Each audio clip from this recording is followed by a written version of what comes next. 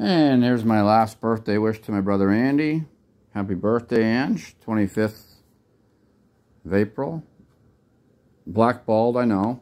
Hey, remember this ring? I know you're in jail. But uh, if there's any way you can look from jail, Mom, I don't know, you know, I remember this very well. uh, anyway, let's just forget about this ring for a minute. But Ange, uh, anyway, remember this dice? All right, all right, watch. Let me show you something, Andy.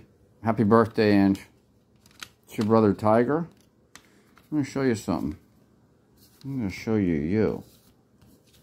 Us. Oh, I only have a minute because I want this to be seen. Never forget my brother.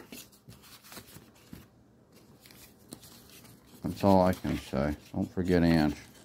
Ever.